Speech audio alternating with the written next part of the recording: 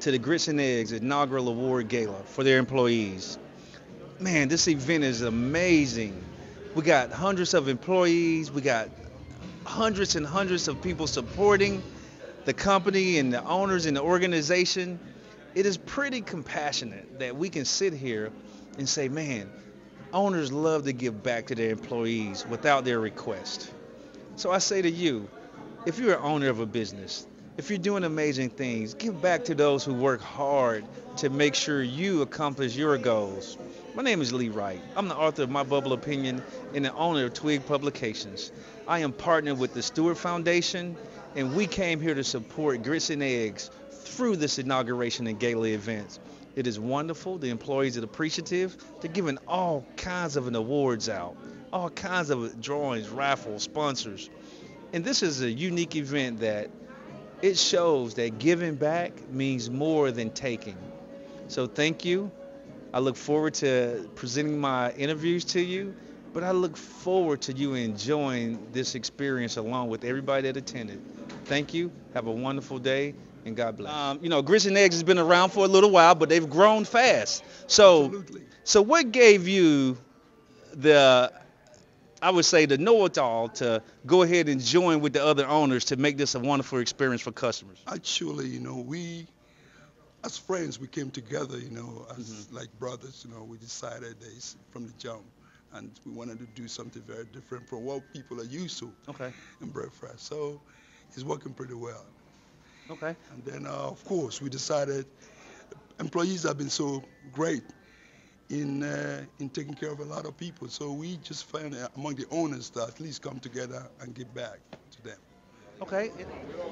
Okay, I'm I'm here with um man, I, I would say one of Mike's closest comrades. Yes, Can I that's okay? that sounds great. Uh, you know, Mr. Bass has been with Mike through thick and thin, and I'm quite sure they've had conversations when he has rough times, and, and was a good confidant he could talk to to help him through things and see things and, you know, help him understand his passion and his his journey.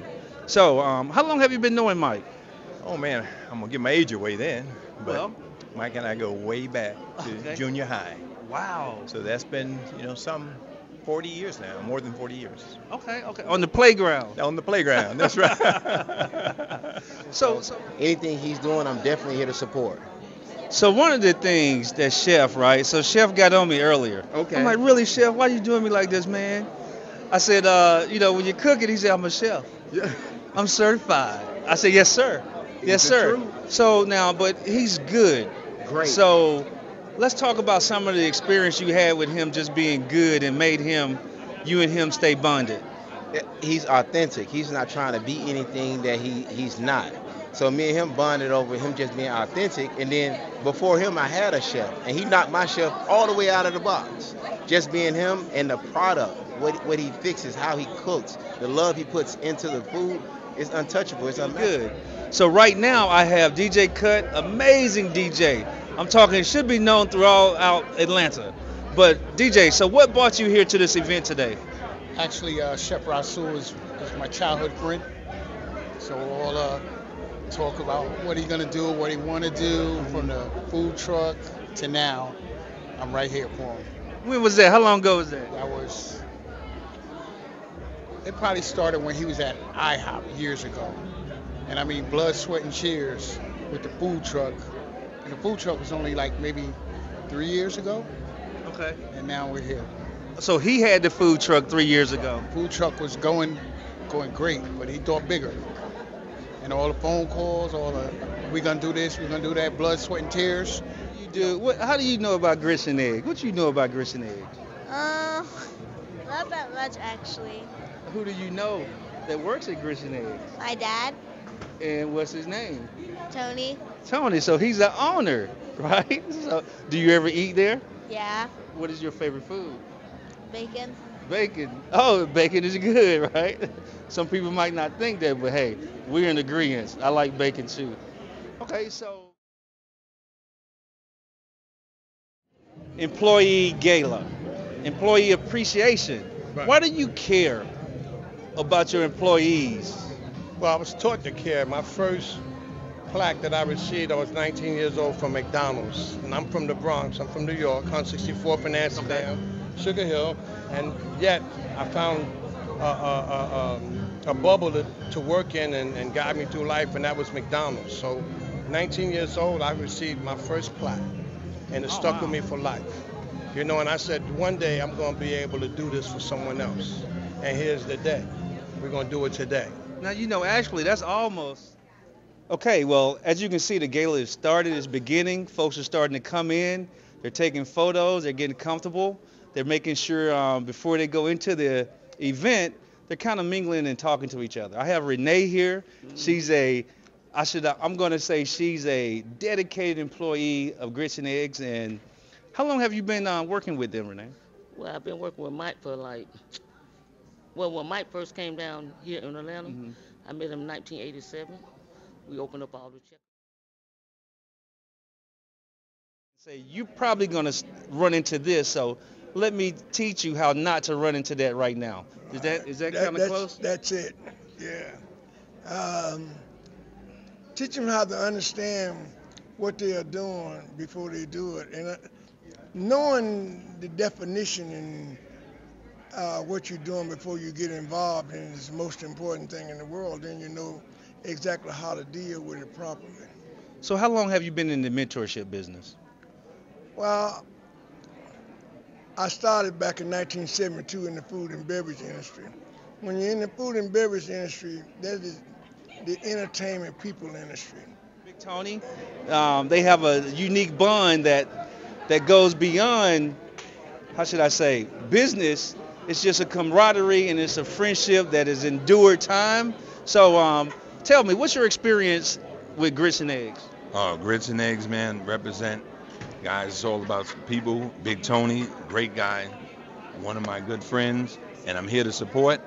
I'm a musical poet, Jay writes, and we're here to support the people, man. So being an artist is, and, and is always there. Um, it takes a unique person to be able to handle that business and personal. Mm-hmm. Um, what made it easy for you? Well, I think we just kind of hit it off initially. Uh, he's just a good guy, uh, and he's God fearing. So that's that's always a plus, and he's always tried to do what's right by his people. So I don't mind working for anybody that's going to do right by me. And again, putting pro- putting people before profits have always been a key to any company that I work for. Okay. Do you want to say anything to the folks out there to close out before you go into the gala? Uh, just want to congratulate Mike. Uh, much success. He had, how long has he been cooking and coming up with recipes, making people smile?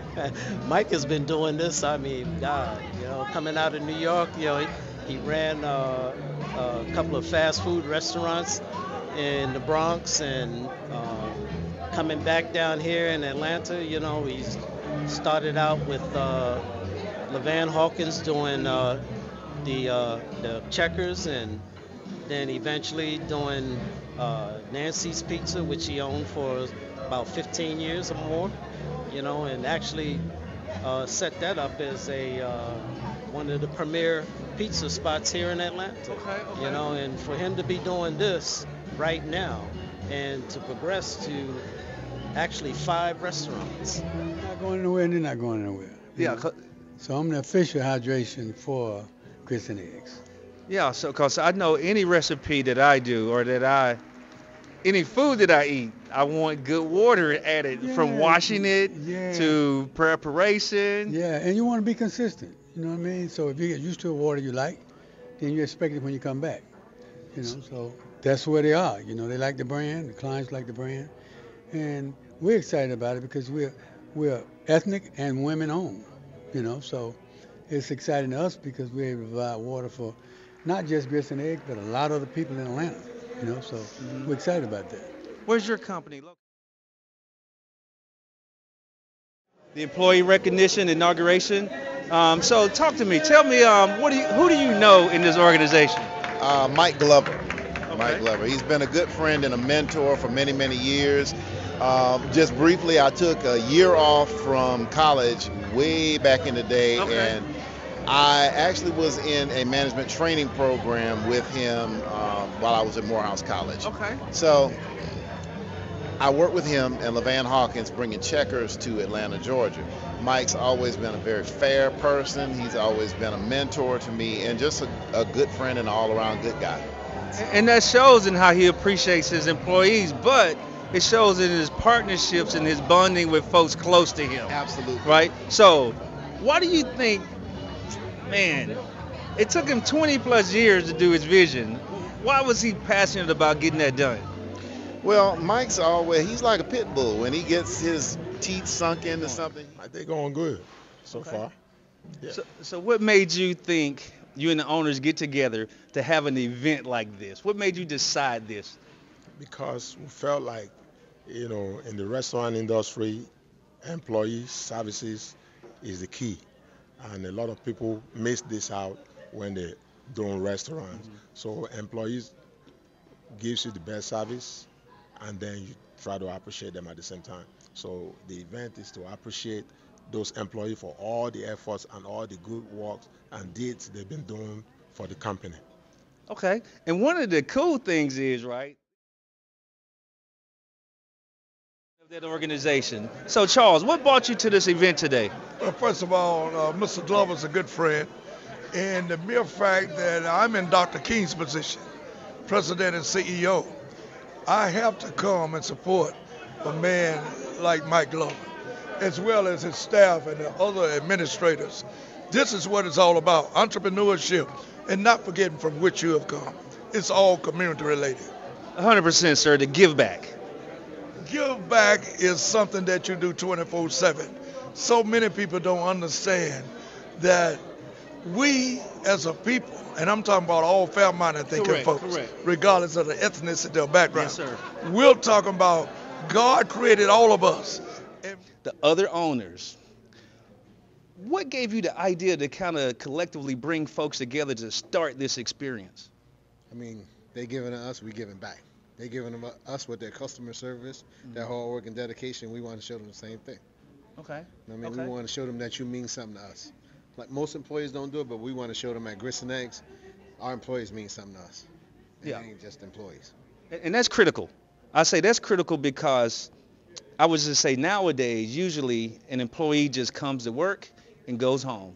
And it's rare that the head of the organization is still in touch with the most junior employee of the organization. So how does it